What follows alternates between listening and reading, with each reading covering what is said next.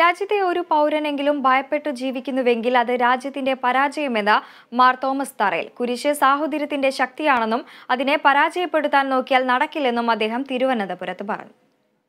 ഭയത്തോടുകൂടി ഒരു മനുഷ്യനെങ്കിലും ഒരുപക്ഷെ ഒരു രാജ്യത്തിലെ ഏറ്റവും ദുർബലനായ ഒരു മനുഷ്യനെങ്കിലും ഭയപ്പെട്ടാണ് ജീവിക്കുന്നത്. അത് ആ രാജ്യത്തിന്റെ മുഴുവൻ പരാജയമായിട്ട് കരുതുവാൻ നമുക്ക് സാധിക്കണം.